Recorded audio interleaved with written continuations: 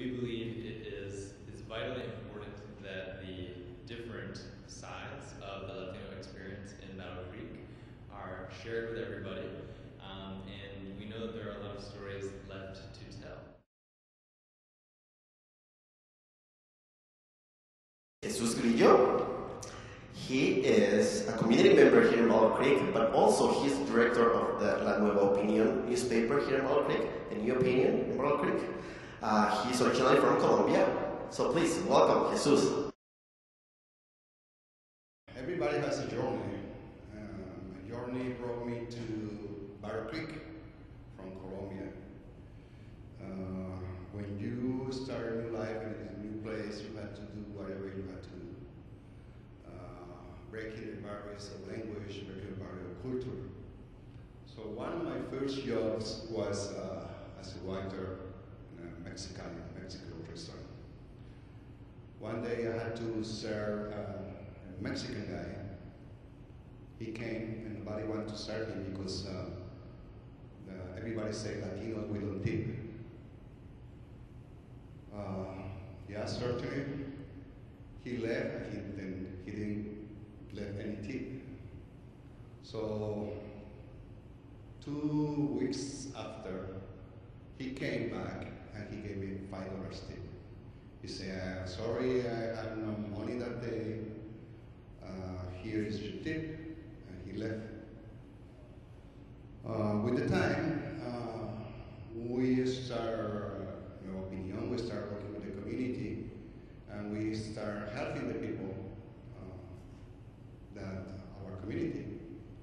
So I get uh, some resources, contacts. I knew many people that go to help the community. And one uh, day, somebody called me and said, Jesus is a person, is a family that had, uh, has a, uh, a daughter, a son, sorry, with uh, uh, cerebral palsy. So they need a ramp because the boy is growing up and they had to carry up uh, his boy into the inside the house and it's getting heavy. So we started getting funds. We found some money and we partnered with uh, Habitat for Humanity and uh, we built a ramp for him.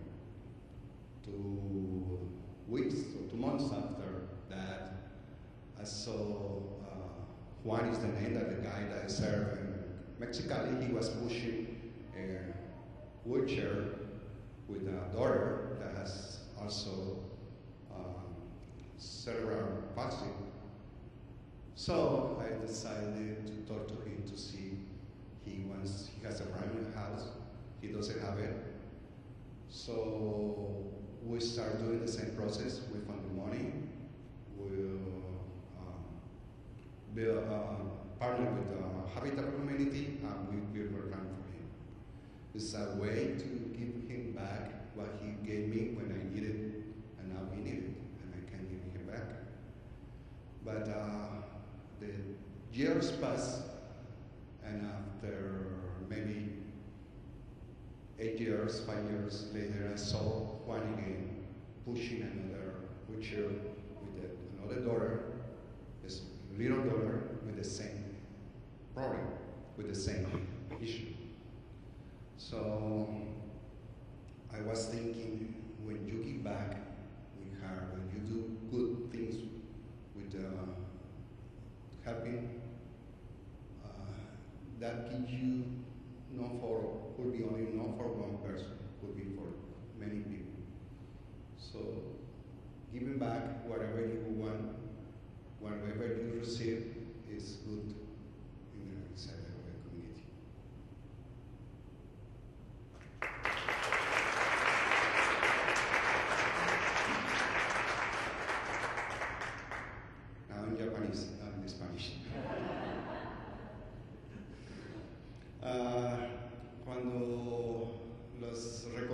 traen a varios sitios, me trajeron mi trabajo hasta aquí a Estados Unidos, eh, uno tiene que hacer muchas cosas para romper las barreras cuando conoce un nuevo sitio, eh, especialmente las barreras culturales, las barreras del lenguaje.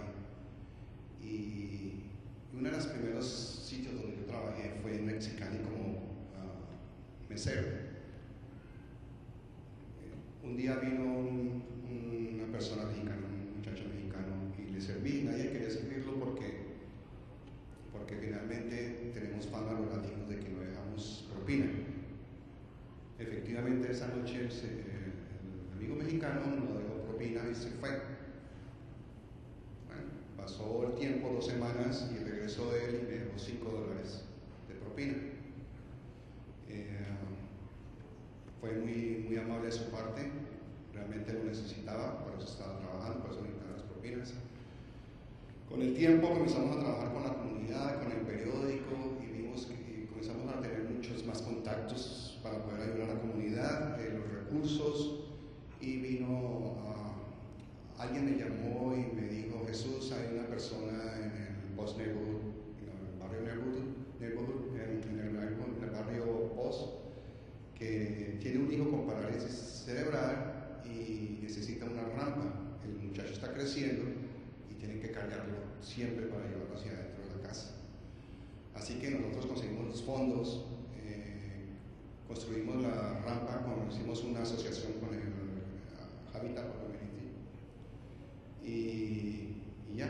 Pero con el tiempo, cuando dos meses después, vi al muchacho mexicano que había venido a Mexicali empujando una silla de ruedas con una niña que también tenía parálisis infantil, era la hija. Entonces vi la oportunidad de devolverle lo que realmente me había dado en el momento, de ayudarlo. Él me ayudó en un momento y yo quisiera ayudarlo en ese momento.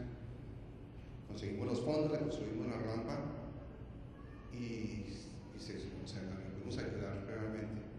Pero eso no fue todo. Pues, pasaron como unos 4 o 5 años después y vi otra vez a Juan empujando otra vez otra silla de ruedas con una niña más pequeña. Tiene otra hija más pequeña con el mismo problema, con la misma enfermedad de parálisis cerebral. Y entonces realmente me puse a pensar de que la rampa que le construimos no solamente ayudó a una persona, sino ayudó a dos. Que cuando uno hace las cosas por bien,